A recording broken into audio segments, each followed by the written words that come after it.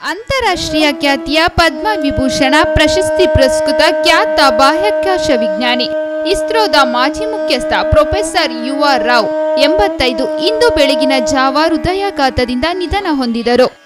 ಉಡುಪಿ ರಾಮಚಂದ್ರ ರಾವ್ ಅವರು ಉಡುಪಿ ಸಮೀಪದ ಮರವಳ್ಳಿಯಲ್ಲಿ ಮಾರ್ಚ್ ಹತ್ತು ಸಾವಿರದ ಒಂಬೈನೂರ ಮೂವತ್ತೆರಡರಂದು ಜನಿಸಿದರು. ಇವರ ತಾಯಿ ಕೃಷ್ಣವೇಣಿಯಮ್ಮ, ತಂದೆ ಲಕ್ಷ್ಮೀನಾರಾಯಣ ರಾವ್ ಇವರದ್ದು ಕೃಷಿಕ ಕುಟುಂಬ.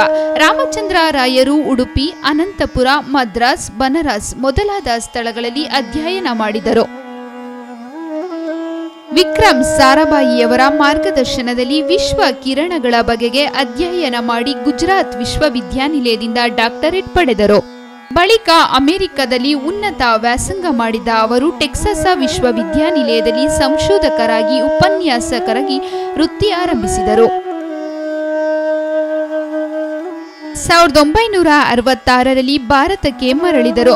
ಉಡುಪಿ ರಾಮಚಂದ್ರ ರಾವ್ ಅವರು ಬಾಹ್ಯಾಕಾಶ ವಿಜ್ಞಾನಿಗಳಾಗಿ ಭಾರತೀಯ ಬಾಹ್ಯಾಕಾಶ ಸಂಸ್ಥೆಯ ಅಧ್ಯಕ್ಷಕರಾಗಿ ನೇಮಕಗೊಂಡರು. ಭಾರತದ ಬಾಹ್ಯಾಕಾಶ ಯುಗದಲ್ಲಿ ಗಳಿಸಿರುವ ಪ್ರತಿಷ್ಠಿತ ಸ್ಥಾನಕ್ಕೆ ಪ್ರಮುಖ ಕೊಡುಗೆ ಕೊಟ್ಟಿದ್ದಾರೆ ರಾವ್.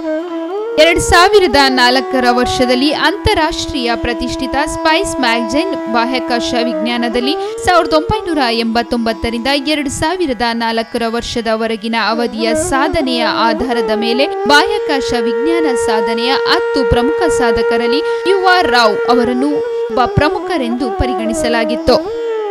ಸಾವಿರದ ಒಂಬೈನೂರ ಎಪ್ಪತ್ತಾರರಷ್ಟು ಹಿಂದೆಯೇ ಅವರಿಗೆ ಪದ್ಮಭೂಷಣ ಪ್ರಶಸ್ತಿ ಲಭ್ಯವಾಗಿತ್ತು. ಸಾವಿರದ ಒಂಬೈನೂರ ಎಪ್ಪತ್ಮೂರರಲ್ಲಿ ನಾಸಾ ಸಂಸ್ಥೆ ಸಮೂಹ ಭಾರತೀಯ ಬಾಹ್ಯಾಕಾಶ ಸಂಶೋಧನಾ ಮಾಜಿ ಮುಖ್ಯಸ್ಥರಾಗಿರುವ ಪ್ರೊಫೆಸರ್ ಯು ಆರ್ ರಾವ್ ಪ್ರತಿಷ್ಠಿತ ಸೆಟಲೈಟ್ ಆಲ್ ಆಫ್ ಫೇಮ್ ಗೌರವಕ್ಕೆ ಪಾತ್ರರಾಗಿದ್ದಾರೆ. ಎರಡು ಸಾವಿರದ ಹದಿಮೂರರ ಮಾರ್ಚ್ ಹತ್ತೊಂಬತ್ತರಂದು ವಾಷಿಂಗ್ಟನ್ನಲ್ಲಿ ನಡೆದ ಸಮಾರಂಭದಲ್ಲಿ ಒಂದು ಸಾವಿರ ಗೌರವಾನ್ವಿತ ಬಾಹ್ಯಾಕಾಶ ವಿಜ್ಞಾನಿಗಳ ಸಮ್ಮುಖದಲ್ಲಿ ಡಾಕ್ಟರ್ ರಾವ್ ಅವರಿಗೆ ಪ್ರಶಸ್ತಿಯನ್ನು ದಯಪಾಲಿಸಲಾಗಿತ್ತು. ಡಾಕ್ಟರ್ ರಾವ್ ಈ ತರಹ ಪ್ರಶಸ್ತಿ ಗಳಿಸಿದ ಪ್ರಥಮ ಭಾರತೀಯರು. ಈ ಗೌರವ ಪಡೆದ ಐವತ್ತು ಜನರ ಗುಂಪಿನಲ್ಲಿ ಅವರು ಸೇರಿದರು. ವಾಷಿಂಗ್ಟನ್ನ society of satellite professional of international ವತಿಯಿಂದ ನೀಡಲಾಗುವ ಪ್ರತಿಷ್ಠಿತ ಗೌರವ ಇದಾಗಿದೆ. ಭಾರತದಲ್ಲಿ ಬಾಹ್ಯಾಕಾಶ ತಂತ್ರಜ್ಞಾನ ಮತ್ತು ಸಂವಹನ ವಿಸ್ತಾರಕ್ಕೆ ನೀಡಿದ ಕೊಡುಗೆಗಾಗಿ ಪ್ರೊಫೆಸರ್ ರಾವ್ ಅವರಿಗೆ ಪ್ರಶಸ್ತಿ ಲಭಿಸಿತು. ಖ್ಯಾತ ಬಾಹ್ಯಾಕಾಶ ವಿಜ್ಞಾನಿ ಪ್ರೊಫೆಸರ್ ಯು ಆರ್ ರಾವ್ ಅವರು ಪ್ರತಿಷ್ಠಿತ ಐಎಎಫ್ ಆಲ್ ಆಫ್ ಫೇಮ್ ಸೇರ್ಪಡೆ ಗೌರವಕ್ಕೆ ಪಾತ್ರರಾಗಿದ್ದಾರೆ.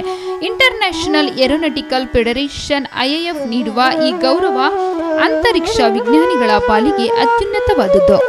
ಎರಡ್ ಸಾವಿರದ ಹದಿನಾರು ಸೆಪ್ಟೆಂಬರ್ ಮೂವತ್ತರಂದು ಮೆಕ್ಸಿಕೋದಲ್ಲಿ ನಡೆದ ಇಂಟರ್ನ್ಯಾಷನಲ್ ಏರೋನಾಟಿಕಲ್ ಕಾಂಗ್ರೆಸ್ ಸಮಾವೇಶದಲ್ಲಿ ರಾವ್ ಅವರ ಹೆಸರನ್ನು ಆಲ್ ಆಫ್ ಫೇಮ್ಗೆ ಸೇರ್ಪಡೆ ಮಾಡಲು ತೀರ್ಮಾನಿಸಲಾಯಿತು. ಇಂತಹ ಅಪ್ರತಿಮ ಸಾಧಕನನ್ನ ಇಂದು ಈ ದೇಶ ಕಳೆದುಕೊಂಡಿದೆ. Sushmita JTV news.